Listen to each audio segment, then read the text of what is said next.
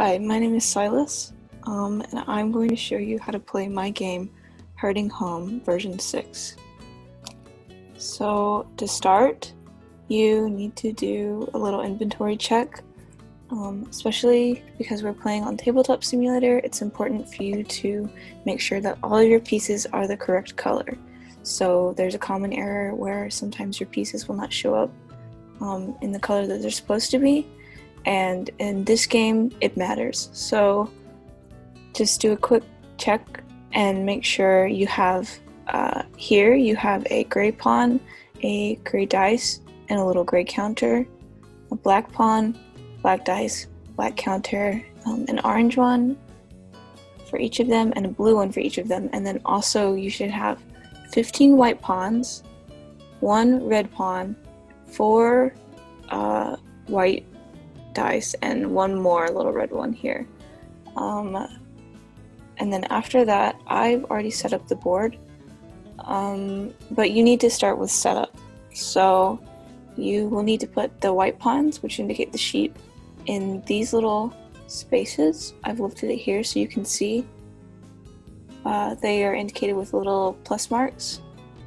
And so you need to put them where they go and put the shepherd where it goes which is right on this little flower icon right here. Now the wolves need to place their pawns on the board and they place them simultaneously. And um, wolves need to be uh, within five spaces of a sheep. So if we go here on this sheep, we count one, two, three, four, five. This would be the fifth space from the sheep. So we can place our wolf here at the sixth space from the sheep. Then from here, you just put the rest of your wolves anywhere on the board that is pale colored. So you couldn't put it on any of these dark green spots. Those are scenery and the wolves cannot walk there.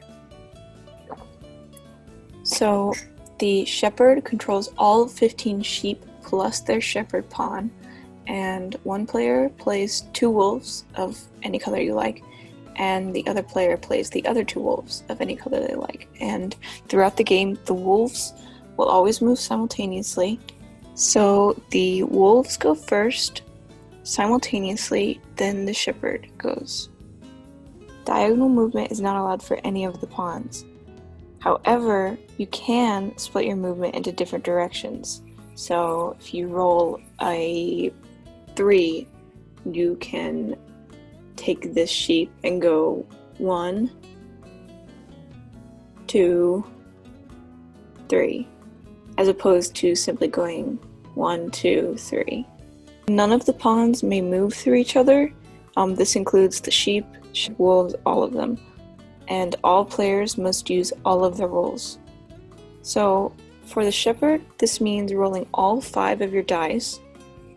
So, your four sheep dice and your one shepherd um, and moving up to, but no more than, four sheep and your shepherd in your turn along the path. So the shepherd and the sheep can only stick along this pale yellow path.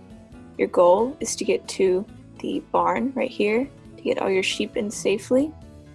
Um, the shepherd has to get all of their available sheep into the barn before that they can go in themselves. It's also important to note that pawns cannot occupy the same space, except for in the case when, say, a wolf is eating a sheep. Um, because to eat a sheep, the wolf has to land on that sheep's space. So the occupation, the double occupation, is temporary, so it doesn't really matter. So here are the wolves' winning condition.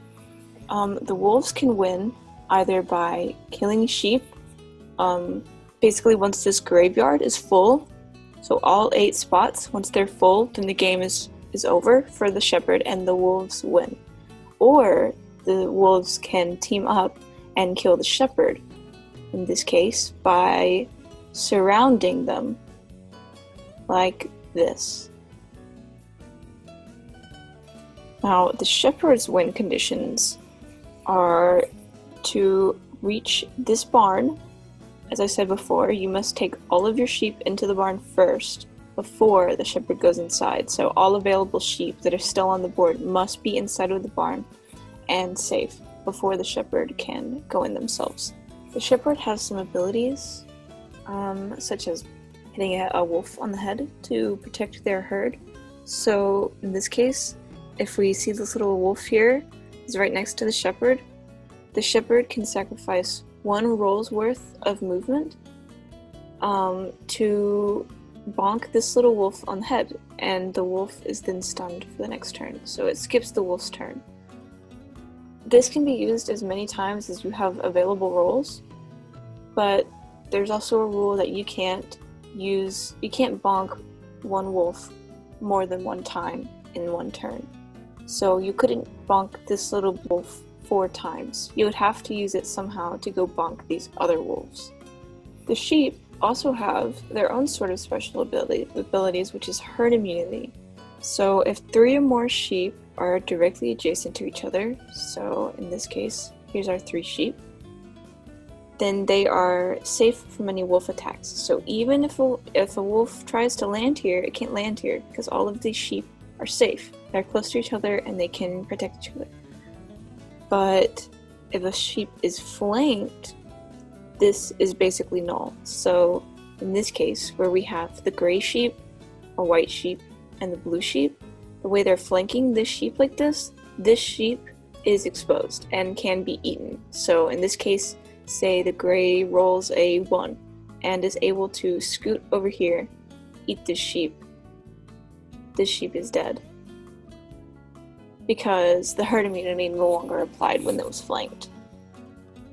Wolves, when you get bonked, you need to make sure to remember to mark your counters because if you're bonked more than eight times, then your wolf is killed and it's taken off the board and it's a victory for the shepherd. And that's basically it for herding home. Um, this is version 6, uh, the latest version. So I hope you enjoy and I hope you have a lot of fun playing.